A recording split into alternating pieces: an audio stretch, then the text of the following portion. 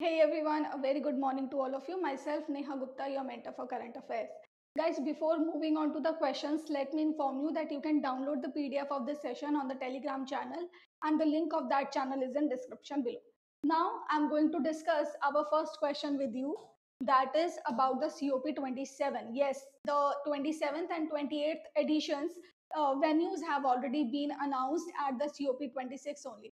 However, the COP26 is such a daunting topic for the newspaper agencies that although the COP has ended, but the news from the COP are not ending. Yes, guys, there is another news from the COP. There is a news about the launch that has been made by International Solar Alliance. Of course, we will be discussing that in detail. But first, let's have a look at the venue of the upcoming COP.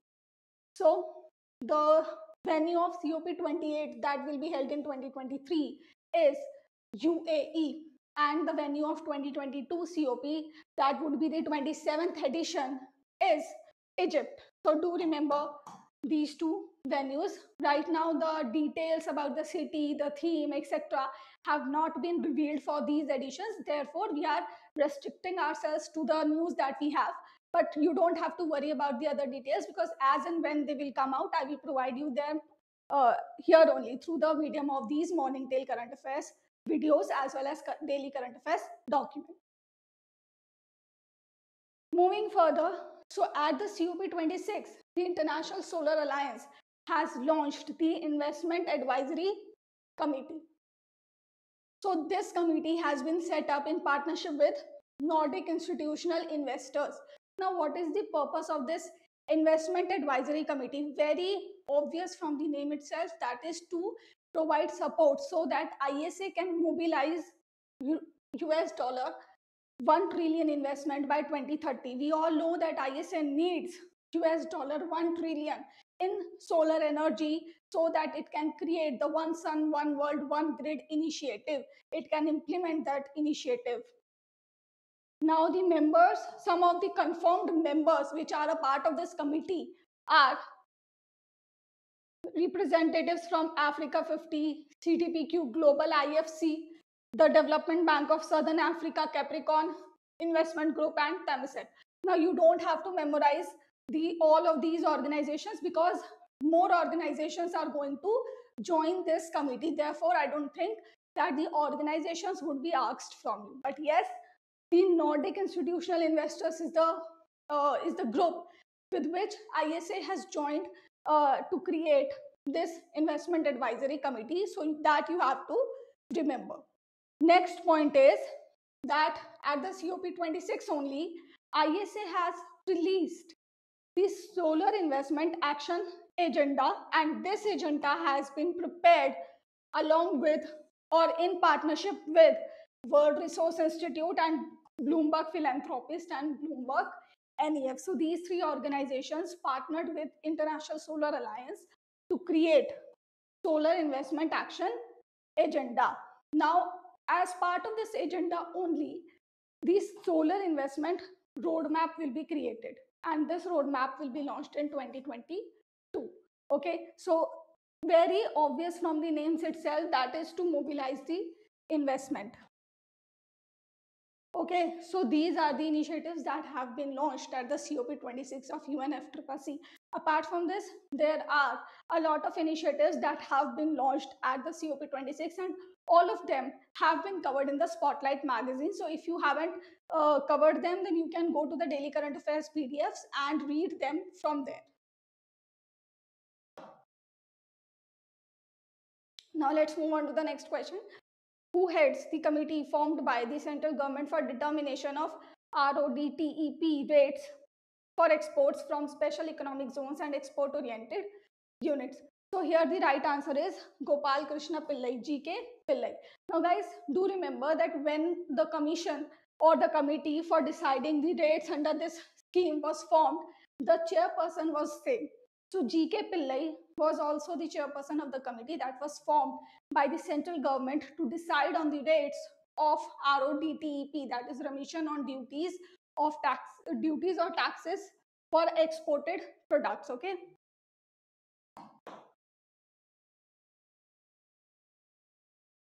Now, why this committee has been formed again.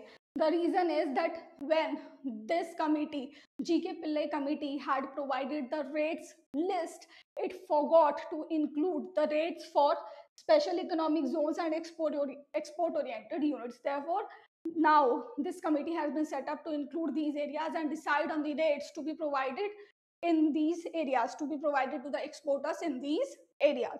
I hope that you have covered this scheme in detail from our government schemes playlist because this scheme is important from your exam point of view. It can be asked in your finance current affairs as well. So do cover it from there. Which state has launched the Rakshak Road Safety Initiative in collaboration with GIZ and the Indian Road Red Cross Society? Okay. So here the right answer is Odisha.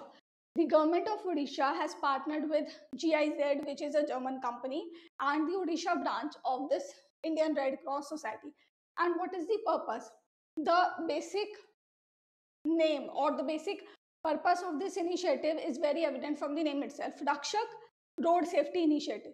So basically, under this initiative, the small retailers and the um, we can say venture holders, for example, the dhaba walas, the vehicle repairing shops. So all these people, the owners, the workers of all these shops uh, alongside the highways or the major roads will be trained so that they can provide the first aid to the accident victims within the golden hour. That is the one hour just after the accident. Okay, so that is the basic benefit or the purpose of this road safety initiative.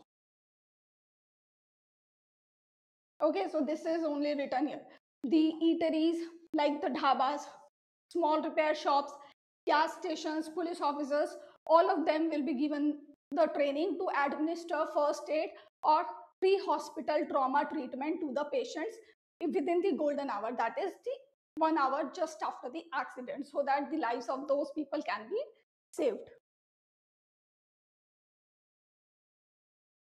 Next question is, which state has launched the Wangala festival, or sorry, celebrates the Vanga, Wangala festival. So basically, this is a post-harvest festival which is celebrated by the Garo tribe of Meghalaya. So that is all about this festival. You don't have to memorize anything else. But guys, whenever it comes to the state festivals, it is important for you to know these major state festivals of different states because they are also asked in your exams like RBI, SEBI, and NABARD, and many other banking examination, examinations per se. Okay, so Meghalaya is a state, Garo tribe is the particular tribe that celebrates it, and Saljong is the deity which is worshipped during this festival. Saljong is basically the name of the sun god.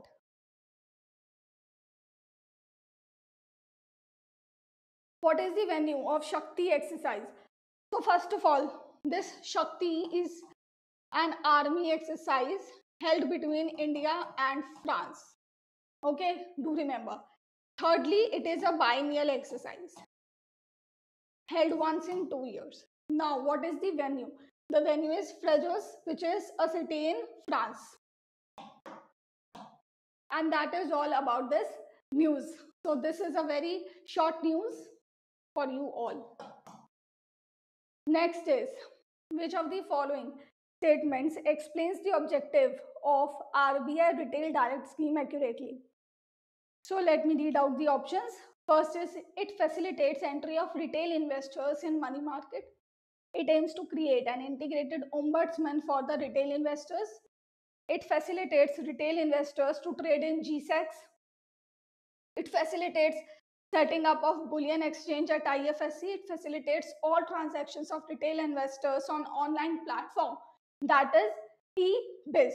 So which one is the right statement guys? The right statement is option E. So basically Prime Minister has launched two schemes pertaining to RBI. First one is this RBI Retail Direct Scheme Second one is RBI Integrated Ombudsman Scheme. That means both of these schemes will be administered by RBI. However, they have been launched by the Prime Minister. Now, what is the purpose of the first scheme? Clearly, it is going to allow the retail investors to invest in the government securities. So far, the institutional investors like banks, major companies, major mutual funds, and other uh, major institutional investors were allowed to invest in the government securities because the amount was also high. The amount was also huge. Now, the retail investors can also invest in the government securities. That is the purpose of this scheme. The next scheme that is RBI's integrated ombudsman scheme. So it basically aims to centralize the grievance redressal and prevent the financial frauds. So that is the basic purpose of this ombudsman scheme. Next and last question for you is who has been appointed as the goodwill ambassador for the United Nations World Food Program? So the right answer is Daniel Brühl. So he is a Spanish German actor and he has been appointed as the brand ambassador for UN World Food Program. Can you guys tell me in which year was this program started? This is your one and only question from my side for this day. Okay, I hope that you will answer it in the comment section below. Thank you so much guys for watching this video. I hope that you have enjoyed it. Thank you again for watching it.